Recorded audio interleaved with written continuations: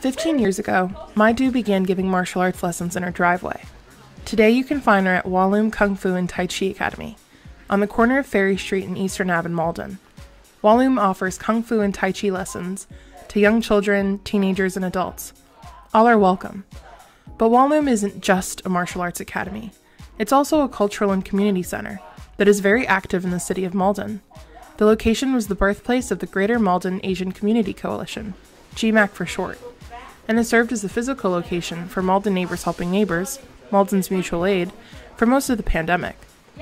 Do says the space at the Academy is for community building, promotion of good values, both in the sense of health and fitness, but at the same time, mind, body, spirit, social justice, equity, and inclusion, as well as an educational and political center for a lot of community activism.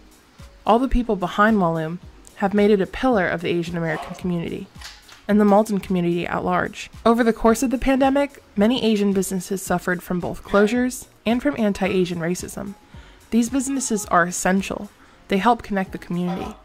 Do says these businesses are filling in the gap between public services that are not there yet. In her interview with Neighborhood View, Maidu also spoke of the importance of Asian representation in the community, saying, it is so affirming to their self worth and personal identity to know that your own culture is valued, is visible, is embraced, and to be able to see things around you publicly.